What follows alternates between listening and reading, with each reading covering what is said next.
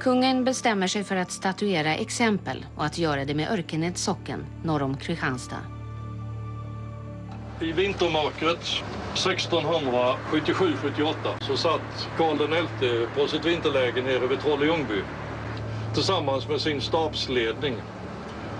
Och där skapade man planen som hette och heter i alla papper Snapphanas inte ligga utrotande. Och det visar ju vilken inställning han hade till människorna här uppe. Det var alltså odjur som skulle utrotas, precis som råttor och annat elände. Och det planlade han i detalj tillsammans med sina officerare. I Riksarkivet i Stockholm finns kungens order till överstelöjtnant Gustav Hedefelt. Angående snapphanar i Göinge härad. Och där kan man läsa att när han till Örkened kommer när han kommer till Örkened, där inte bara snapphanarna lär ha tagit sin största tillflykt, utan också andra har rövat och förargat, så ska han i hela socknen hugga ner alla män som kan bära gevär. Han skonar bara kvinnor och barn. Kungens löjtnant, Nils Skytte, berättar om överfallet som följer. Den 22 april gick vi med order att uppbränna hela Örken socken samt att ihjälslå allt manskön mellan 15 och 60 år. Jag och mina utkommenderade brände efter min specifikation Kärraboda, Rövatorp, Smålatorp, Månstorp, två möller och ett hus. Därtill en gammal bonde som halshöggs. Om natten låg vi i Lönsboda. Den 23 april.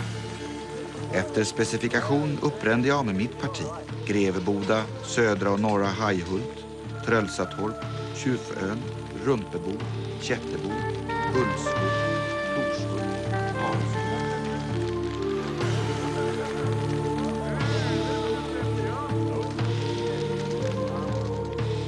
Men aktionen blir ändå ett misslyckande. Ryktet har gått och invånarna i Örkened har flytt ut i skogarna. Alla gårdar utom två bränns ner av den svenska militären. Ja, jag är stad vid kassa idag. Jag har, eftersom jag är ättling till Peder Pedersen vid Loshultscupen så är jag rätt rik ibland. Eh, så jag har en femhundring och den mannen som var här väckte då en väldig uppståndelse i Örkenässocken. När Gunnar Sträng införde 500-kronorssedeln då skrevs det protestbrev av Örkenäsborna och sa att den sedeln vill vi inte ha.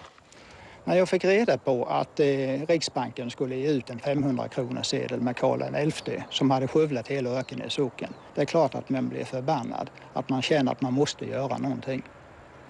Och det var då jag bestämde mig för att skriva denna skrivelse till eh, regering och eh, Riksbank. Jag ville inte ha en folkmördare på 500 kronor sedeln.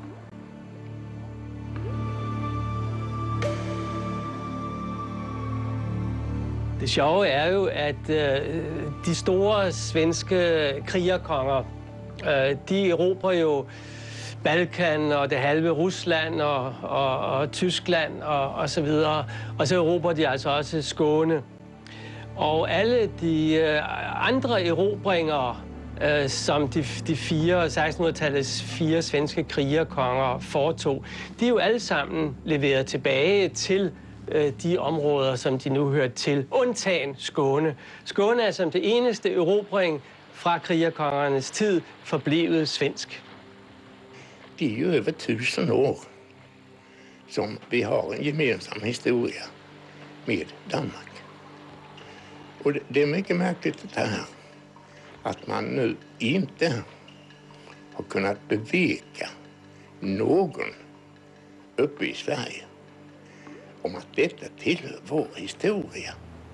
Vi har med andra ord fått Mälarlandskapens historia och Mälarlandskapens eh, kungar, krigskungar, som våra egna.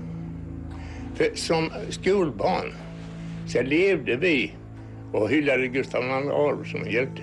Vi visste inte att han aldrig varit kung här. Vi visste inte vilka våldsdåd denna förfärliga människa hade gjort skyldig till det här. Det är likadant med Gustav Vasa, Erik XIV, Johan III, Karl IX. Hela raden av sådana despoter har hemsökt det här landet med krig och plundring.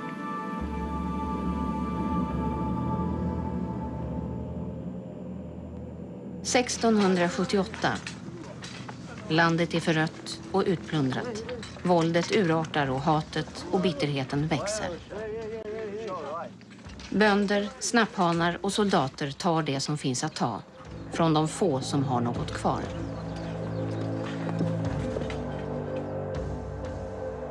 Till slut kapitulerar de danska generalerna i sankmarkerna utanför Kristianstad.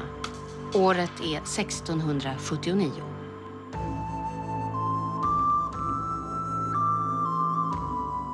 När återtåget nu börjar begår danskarna sitt andra stora misstag. Längs hela vägen genom Skåne, på väg tillbaka mot Helsingborg och Danmark, bränner de landet. Gårdar och torp, slott och åkrar. Inget ska finnas kvar för svenskarna att ta över. Och delvis därför är det just nu, under det danska återtåget, som Skåne blir svenskt på allvar.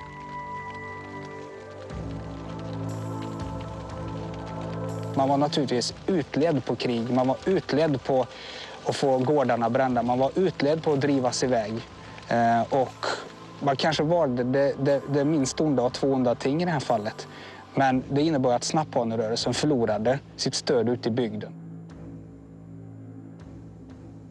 Försvenskningen att den går meget hurtigt i Sverige. Det, vi kan ju se, att det, som sker i 1709, när øh, da danskarna vänder tillbaka, så blir de inte modtaget med jubel, som de blev det i, 16, i 1676.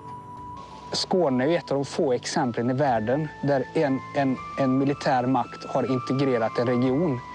På grund af skolegang, på grund af præsternes konstante belæring om, at man skal være svensker. Og så fordi danskerne opførte sig uhængsmæssigt ved tilbagetrækningen fra Skåne, øh, så er stemningen svinget rundt.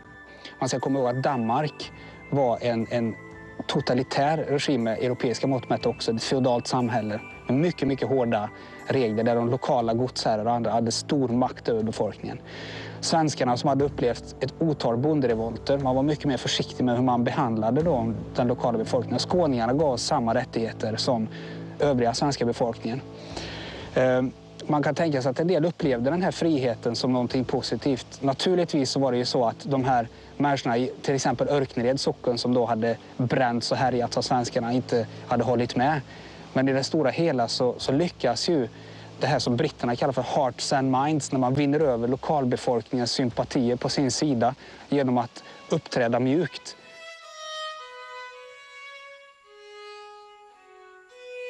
Kontakten mellan Danmark och de förlorade östra landskapen stryps helt efter kriget och i praktiken under nästan 200 år.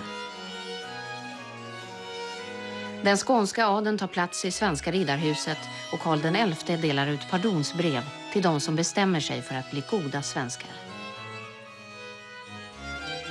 När Danmark än en gång anfaller Sverige i början av 1700-talet händer ingenting.